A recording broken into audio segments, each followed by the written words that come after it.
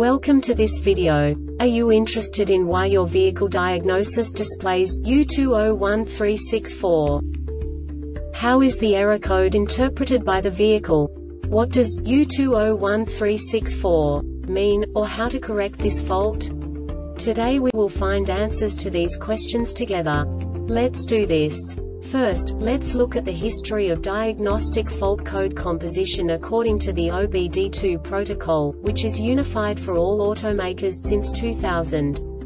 We divide the electric system of automobile into the four basic units. Powertrain, body, chassis, network. This distribution is defined in the first character code. If the second character is expressed as zero, it is a standardized error. In the case of numbers 1, 2, 3 it is a more prestigious expression of the car-specific error. The third character specifies a subset of errors. The distribution shown is valid only for the standardized DTC code. Only the last two characters define the specific fault of the group. The add-on to the error code serves to specify the status in more detail.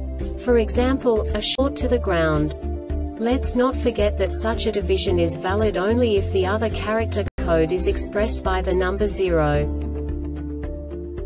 Our website airbagreset.sk produces useful videos for you. You do not have to go through the OBD2 protocol anymore to know how to troubleshoot any car breakdown. You will find all the diagnostic codes that can be diagnosed in a Jeep vehicles. Also many other useful things. The following demonstration will help you look into the world of software for car control units. You unbelievably can move the video a bit further. The error code is split into two bytes consisting of 16 bits. One bit is the basic unit that each computer works with. The bit has two logical states. 0, low level, 1, high level. By combining the first two bits, the basic character of the error code is expressed. The next two bits again determine the second character.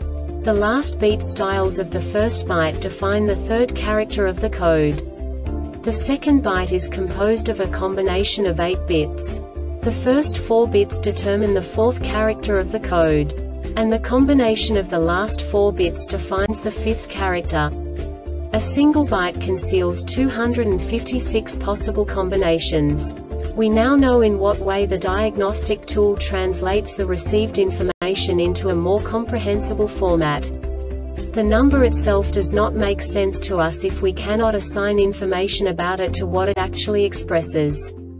So, what does the diagnostic trouble code U201364 interpret specifically Jeep car manufacturers? The basic definition is Power seat rear up down motor pulse error.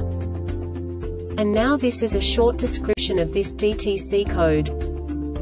Power seat rear up down motor pulse malfunction Note if you are troubleshooting multiple DTCs, be sure to follow the instructions in BCAN System Diagnosis Test Mode A. This diagnostic error occurs most often in these cases. Loose or poor connections at the power seat control unit connectors open or short to ground faulty rear up-down position sensor replace the rear up-down motor faulty power seat control unit signal plausibility failure This subtype is used for failures where the control module detects a single input parameter for plausibility. The Airbag Reset website aims to provide information in 52 languages. Thank you for your attention.